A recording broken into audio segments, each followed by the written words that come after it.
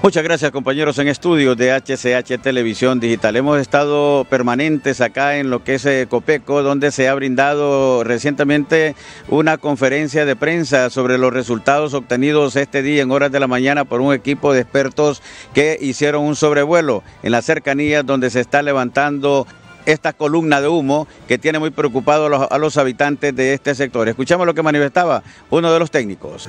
Lo que estábamos, lo que habíamos planificado era realizar un vuelo para hacer captura de muestreo de gases, ¿verdad? Para descartar la presencia de sulfuros que nos llevaría a otro, a otro nivel, ¿verdad? Eh, nosotros particularmente consideramos que eh, son vapores de agua, que son efectos hidrotermales, tenemos eh, muchas referencias, ¿verdad? Eh, les explicaba también la toponimia, ¿verdad? Eh, el río Calderón, Cerro Los Hornitos, de cartas topográficas que, que datan de 1965. O sea que esto no es nuevo, ¿verdad? Lo que es nuevo es la magnitud en la que se está dando en este momento. lastimosamente las condiciones climáticas del vuelo no nos permitieron hacer la captura de gases ni, ni tomar datos con la cámara geotérmica. Se está planificando un nuevo vuelo, ¿verdad? No lo planificamos nosotros, lo planifican las condiciones eh, climáticas. ¿verdad? Eso lo va a definir la Fuerza Aérea, que es la que maneja ese tipo de información. Eh, queremos hacer primero eso para tener captura y tener una primera, una primera información de las emanaciones que se están dando. De forma paralela, ¿verdad? Se está constituyendo un equipo que va a ser un campamento hasta el sitio donde llegamos ayer.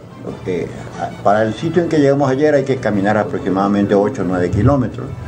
Hacer un campamento y al día siguiente vamos a estrenar a gente físicamente capacitada para hacer ese escalamiento. Lastimosamente eh, eso requiere, eh, no es así nomás subir esa, ese sitio.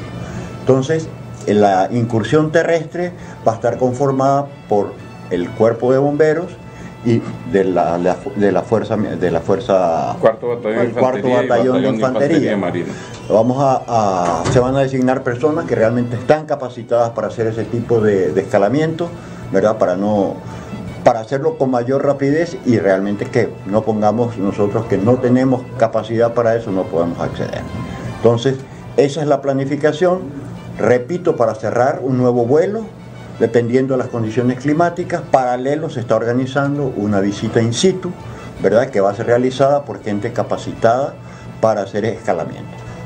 Bien, estaremos pendientes de la próxima expedición que se va a realizar tanto aérea como también terrestre a esa zona para definir de una vez por todas qué es lo que está ocurriendo en lo que es eh, el Parque Nacional Pico Bonito donde se ha venido levantando esta columna de humo.